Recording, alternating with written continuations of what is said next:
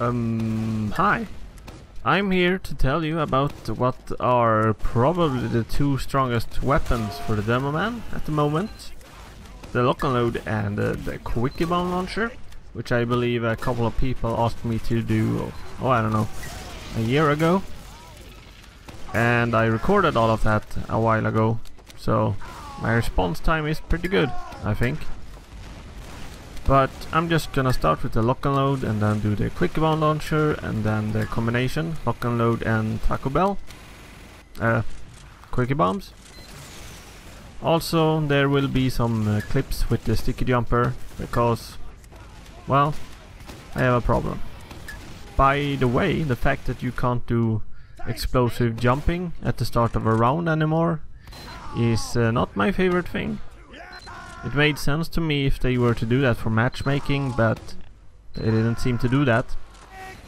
I, I don't get it.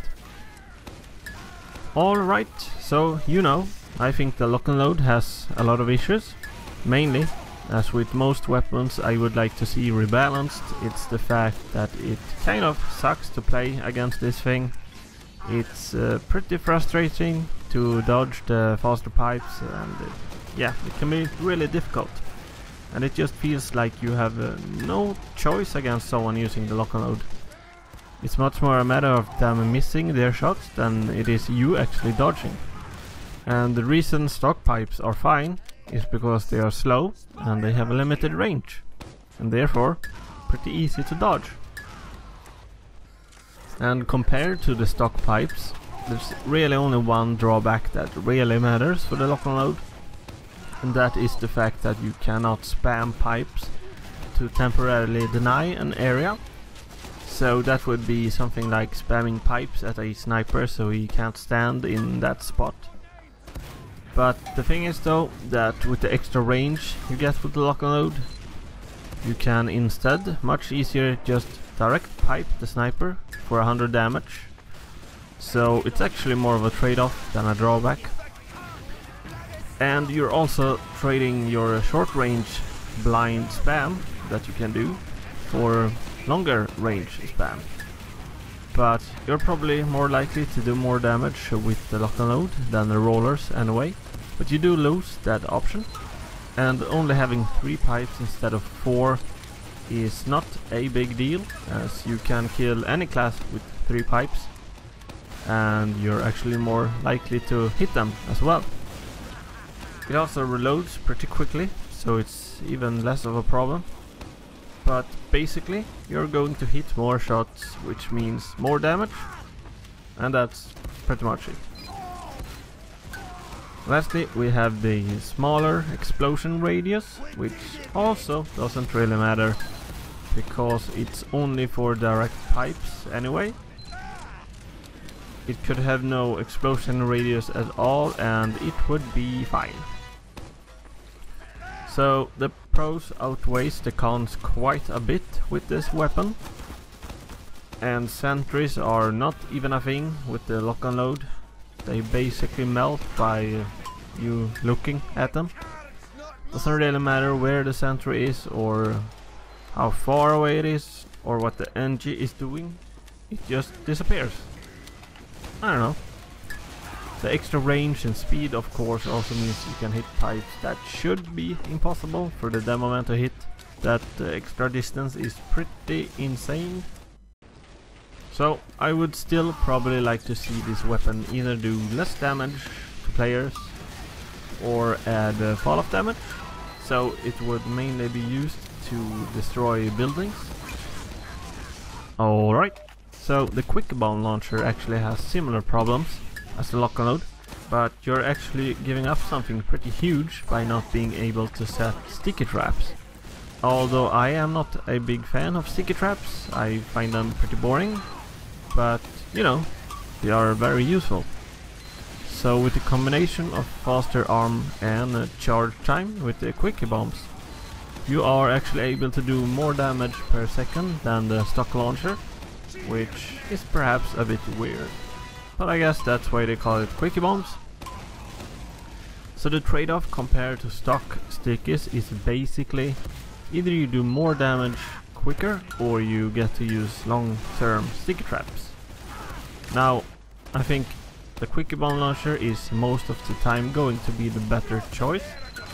Unless you are playing very seriously uh, with a team and are communicating and holding choke points and such. Which is when the stock is at its strongest.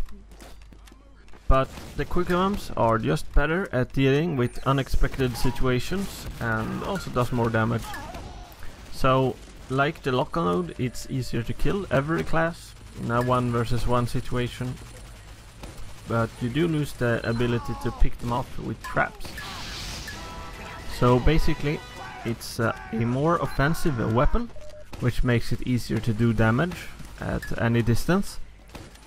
But it's also better at actually defending yourself from people trying to get close. So it's really good. Also, probably the best crits weapon. Of course, you can also destroy enemy stickies with this thing, so it might have a little too much going for it, I think.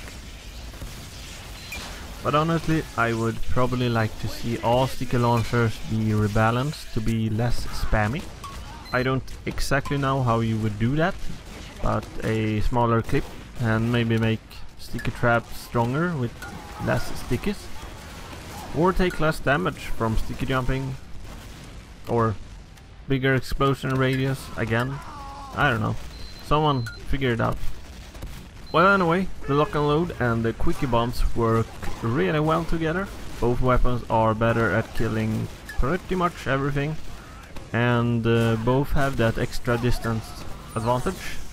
So, for example, if you pipe a scout, which are, you know, easier to hit with the Loch-n-Load, you can then finish him off with a sticky, which are, you know, easier to hit with the Quickie Bomb launcher.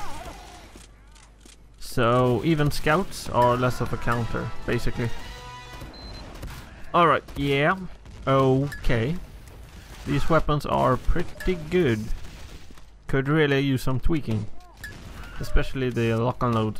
Mostly because it's not fun to play against. That's all my god. Also, sorry about not uh, uploading in a while. Been a little occupied lately. And I'm also moving to a new apartment pretty soon. So, yeah, might be slow. Oh hey, if anyone is still looking for a matchmaking beta pass, I think I got five or so to spare. So, if you want one, post a comment on my Steam group page and I'll get you one. Alright. Say bye.